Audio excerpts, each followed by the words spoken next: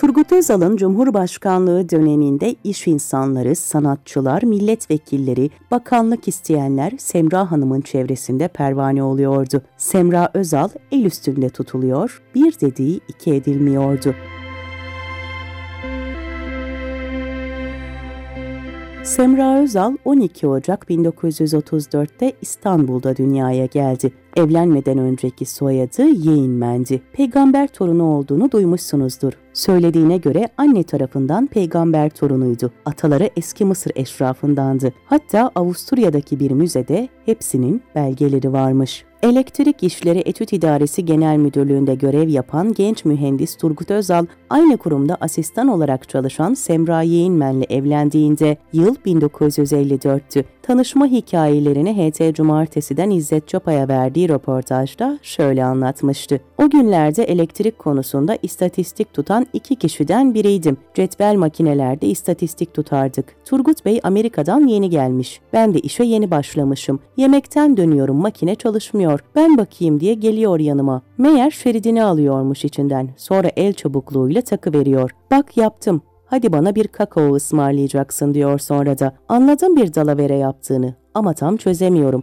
Ben gelince güneş gözlüğünü takıyor, altından bana bakıyor. Ya gözlüğü çıkarın ya odadan çıkın dedim. İş yerinden bir arkadaşın düğünü vardı. Orada dansa kaldırıp evlenme teklif etti. Hiçbir şey söyleyemedim. Çünkü heyecanını yatıştırmak için olsa gerek o gece alkollüydü. Sükut ikrardan gelir. Ben bu susuşu evet kabul ediyorum dedi. Sabah saat 8'de daireye geldim. Herkesi toplamış. Muz likörü eşliğinde çikolata yiyorlar. Nişanımızı açıklamış, kutluyorlar. Daha anamın babamın haberi yok. Yemek yapmayı bile bilmiyordu evlendiğinde. Üstelik aile yapıları da çok farklıydı. O Nişantaşı'nda yetişmişti. Turgut Özal'ın ailesi ise muhafazakardı. Evlenmelerine mani olmak isteyen çoktu ama ömürlükte aşkları ve her şeyin üstesinden geldiler. Bu evlilikten Ahmet, Zeynep ve Efe adlı üç çocukları oldu. Semra Özal eşinin bürokrasi yolculuğunda da hep yanındaydı. 1983 yılında Turgut Özal başbakan olunca kendisi de darbe yönetiminden sonra gelen ilk First Lady oldu. Türk Kadınını Güçlendirme ve Tanıtma Vakfı'nın ve 1990-92 arasında Anavatan Partisi İstanbul İl Teşkilatı'nın başkanlıklarını yaptı. 9 Kasım 1989, 17 Nisan 1993 tarihleri arasında Çankaya Köşkü'ne ev sahibeliği yaptı.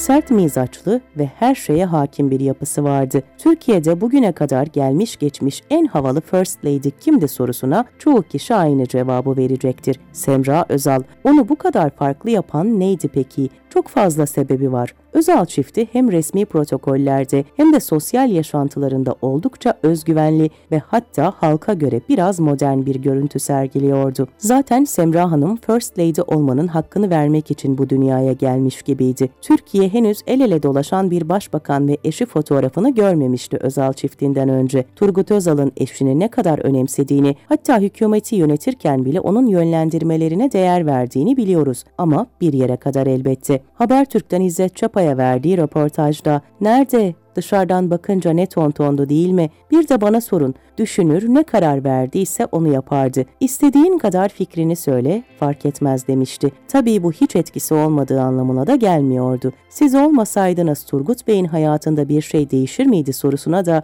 tabii etkide kalıp radikal İslam'a kayabilirdi sözleriyle cevap vermişti.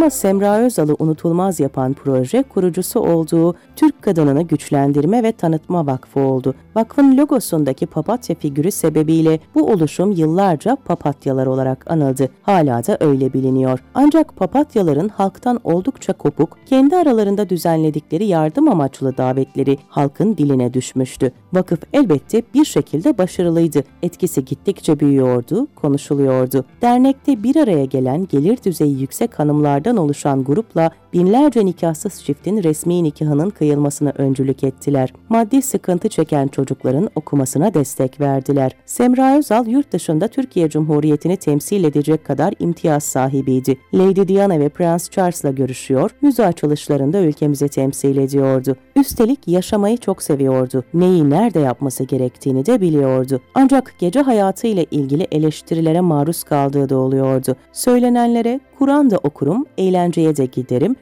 beş vakit namazımı kılarım, davete gidip vismi de içerim. Hepsinin yeri ayrıdır diye karşılık veriyordu. 2018'de Posta'dan Alev Gürsoy Cimine verdiği röportajda vis geçiyordunuz, kahkahalar atıyordunuz, dans ediyordunuz, yeri geldi mi şarkı da söylüyordunuz. Hatta Türkiye'nin ilk pro içen kadınıydınız. Bakıyorum da çok cesurmuşsunuz. Üstelik de muhafazakar Turgut Bey'in eşi olarak hiç mahalle baskısı olmamış mıydı sorusunu şöyle yanıtlamıştı. Mahalle baskısı oldu tabii ama ben her şeyi yerinde, ölçüsünde yaptım. Kur'an da okurum, eğlenceye de giderim. Hem de Kur'an'ı Arapça okurum. Beş vakit namazımı kılarım ama davete gidip fikrimi de içerim. Hepsinin yeri ayrı. Artık sağlıklı yaşamak için poyu çok azalttığım söylenebilir. Alkol artık hiç almıyorum. Zaten ilaçlarım var onlarla alınamaz. Özlemiyorum da, hissettiğim gibi yaşadım. Yine öyle yaşardım ve yaşıyorum da. O dönem öyle hissediyordum ve öyle yaşadım. Hepsinin yeri ayrı.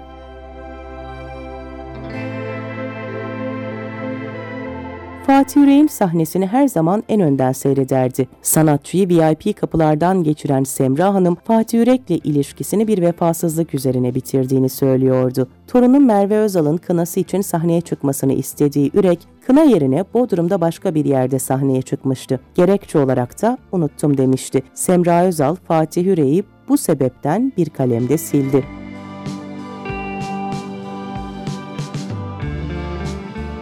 Turgut Özal'la yaşadığı muhteşem evliliğinde pek çok gülümseten anıları olmuştu. Bunlardan birini Habertürk'ten İzzet Çapa'ya şöyle anlatmıştı. Mesela her sene Monaco'da Prens Albert dünyada önemli işler yapmış insanlar için bir balo verirdi. Beni de UNICEF madalyamdan dolayı şeref misafiri olarak davet ettiler. Marmaris'teyiz o sırada. Bronz rengi olmuşum. Muazzam bir hazırlık. Ertesi sabah Monaco'ya uçacağım. Rahmetli birkaç gün önceden başladı. Kendimi iyi hissetmiyorum diye. Bir yere gideceğim zaman hep öyle yapardı. Son gün baktım ben çok fenayım diyor. Önce aldırış etmedim ama öğleden sonra kalıp gibi yatıyor. Doktoru Cengiz Aslan'ı çağırdı çağırdım. Yalnız kalmasın diye. Bizimki diyor ki ben ölüyorum. Döndüğünde beni göremeyeceksin. Cengiz'e dedim ki git bak şuna. Bu gidişle o beni gömecek. Baktı kalp atışları çok yüksek. İyi görmüyorum durumunu demez mi? Amerika'daki doktoru çabuk getirin demiş. Ertesi sabah Amerika'ya uçacağız. Moralim bozuk tabii. O kadar hazırlanmışım. Bir ara mayomu giydim. Bir denize gireyim belki soğuk su iyi gelir dedim. Baktım mayosunu giymiş geliyor. Nasıl kalktın diye sordum. Gitmeyeceksin diye iyileştim dedi. Çok kıskançtı rahmetli.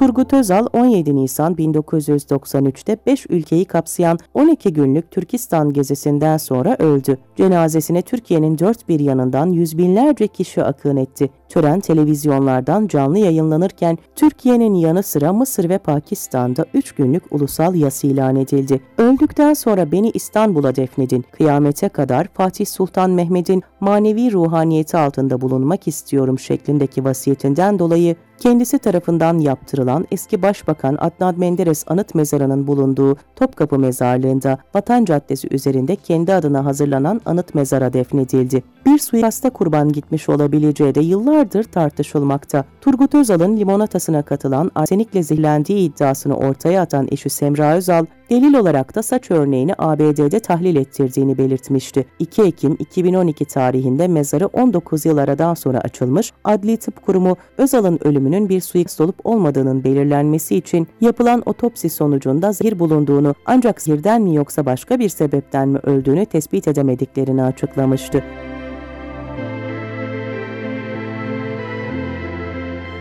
Turgut Özal'ı hiçbir zaman yalnız bırakmayan Semra Özal, eşinin son anlarını ölümünün 28. yılında Anadolu Ajansı muhabirine anlatmıştı. Özal, 39 yıl aynı yastığa baş koyduğu Turgut Özal'ın Türkiye'nin bir dönemine damgasını vurduğunu söylemişti. Geriye dönme fırsatı olsa eşi Turgut Özal'a siyasete girmemesi yönünde telkinde bulunmak isteyeceğini belirten Özal, siyaset çok zor ve nankör, yaptığınız iyi şeylerde gün geliyor inkar ediliyor. Çocuklarımın veya torunlarımın da siyasete girmesini istemem eğer bana sorarlarsa.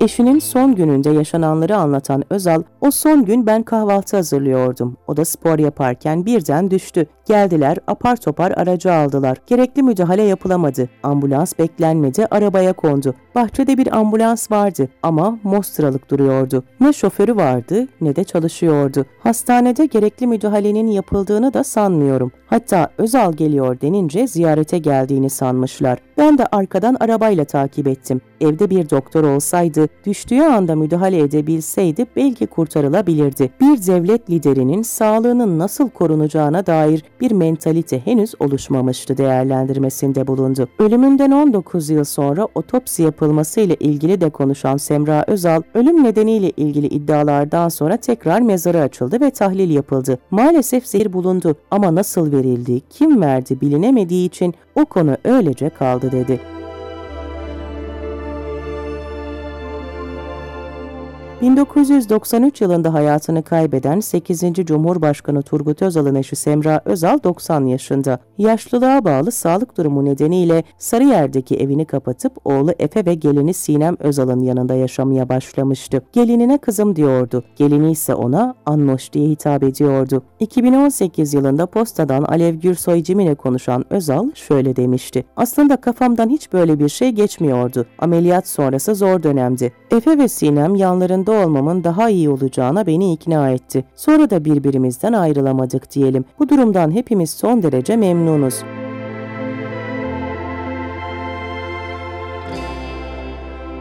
Aynı röportajda gelini Sinem Hanım da konuşmuş, kayınvalidesi Semra Özal'la ilgili şunları söylemişti. Sınırları var, buna saygı gösterilmesini istiyor ama karşısındakine de aynı saygıyı gösteriyor. Düzenine bağlı, olaylara sağduyuyla yaklaşıyor. Kayınvalideme ben Semra Anloş'um diyorum. Bu hitap bana çok sıcak ve samimi geliyor. Sabırla ve yumuşak yaklaşırsanız aşamayacağınız engel yoktur. Bir de çok güzel bir laf var bilmem bilir misiniz? Anlaşmaya niyetiniz varsa zaman, imkan, güç bulursunuz. Yoksa hepsi boş. Biz saygı ve sevgi içinde geçinmeye niyet ettik. Kesinlikle dominant yapısı var. Ama bu o kadar dozunda ki karşındakini kırmadan çok güzel idare edebiliyor. Benim bu konuda annemden öğreneceğim çok şey var.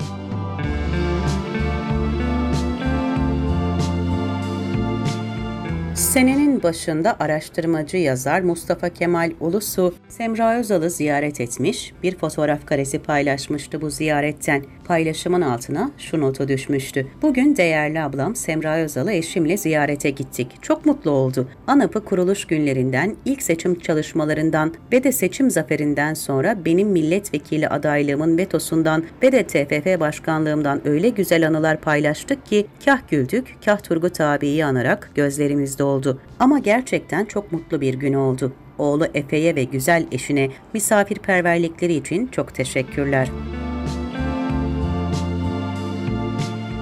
Biz de Semra Özal'a hayatının geri kalanında sağlık, huzur ve mutluluk diliyoruz.